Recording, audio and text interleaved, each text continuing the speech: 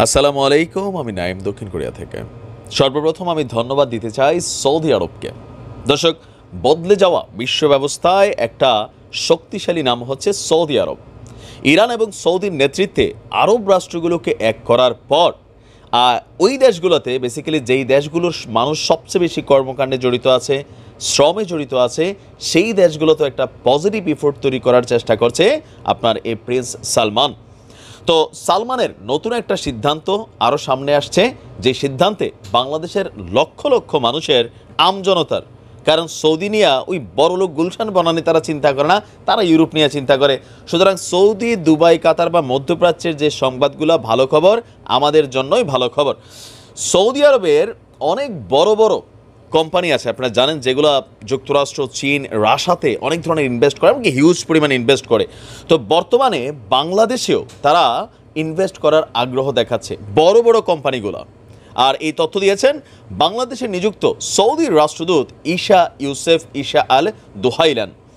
গতকালকে বঙ্গভবনে রাষ্ট্রপতি মোহাম্মদ শাহাবুদ্দিনের সাথে সাক্ষাৎ করেছিলেন বাংলাদেশে নিযুক্ত সৌদি আরবের রাষ্ট্রদূত।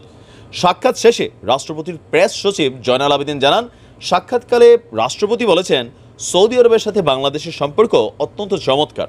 বাংলাদেশিদের জন্য হজ প্রক্রিয়া সহজ এবং ই ভিসা চালু করায় সৌদি সরকারের প্রতি তিনি ধন্যবাদও জানিয়েছেন। সৌদি আরবে বাংলাদেশের জনশক্তি রপ্তানির সবচেয়ে বড় গন্তব্য উল্লেখ করে রাষ্ট্রপতি বলেছেন, সেখানে প্রবাসী বাংলাদেশিরা উভয় দেশের অর্থনৈতিক উন্নয়নে গুরুত্বপূর্ণ ভূমিকা রাখছে। রাষ্ট্রদূত বলছেন যে বাংলাদেশের সঙ্গে সম্পর্ক উন্নয়নের সাথে সাথে বিদ্যুৎ এবং জ্বালানি সেক্টরগুলো, যেগুলো বেসিক্যালি মেগা সেক্টর সেই সেক্টরগুলোতেই বিভিন্ন খাতে সৌদি আরব বিনিয়োগ বাড়াচ্ছে।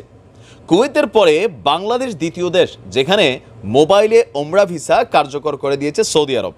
সৌদি আরবের বড় বড় অনেক কোম্পানি বাংলাদেশে বিনিয়োগের আগ্রহ দেখাচ্ছে বলছেন আমাদের যিনি সৌদি রাষ্ট্রদূত আছেন। এমনকি বাংলাদেশের পক্ষ থেকে তিনি যেহেতু এখানে রাষ্ট্রদূত আছেন, সুতরাং এইখানে যে ব্যবসা এবং ইনভেস্টমেন্টের খাতগুলো আছে, সেইগুলোকে তিনি তুলে ধরবেন। আর আপনারা জানেন যে গত কয়েকদিন আগে লাস্ট যখন কাতারে গিয়েছিলেন প্রধানমন্ত্রী, যুক্তরাষ্ট্র গিয়েছিলেন, তিনি বলেছিলেন, যারা বিনিয়োগ করবে বাংলাদেশে, তাদের জন্য তিনি একটা সেফ জোন তৈরি করে দিতে চান। কারণ অনেক কিছু হয় কি, ওই ফাইল টাইল আটকায় যায়, বিভিন্ন মন্ত্রণালয়ে চলে আসে।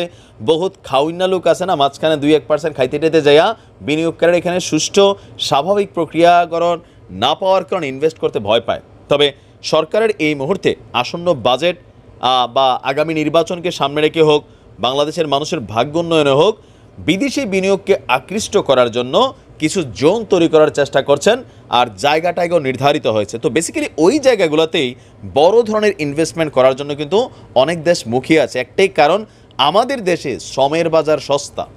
সৌদি বা আমেরিকা বা অন্যান্য দেশে একটা জিনিস তৈরি করতে যেই সস্তায় মানে একটা জিনিস মেক করা যায় অন্যান্য দেশে যায় না। যার কারণে ব্যবসা বাণিজ্য এই দেশে এসে মানে উৎপাদন করলে এটা বিক্রিতে তাদের অনেক প্রফিট আছে। তো সেই কারণে বাংলাদেশ অনেক দেশের কাছে টার্গেট আর সৌদিকে আবারও ধন্যবাদ, এমন একটা সিদ্ধান্ত নেওয়ার জন্য। আসসালামু আলাইকুম।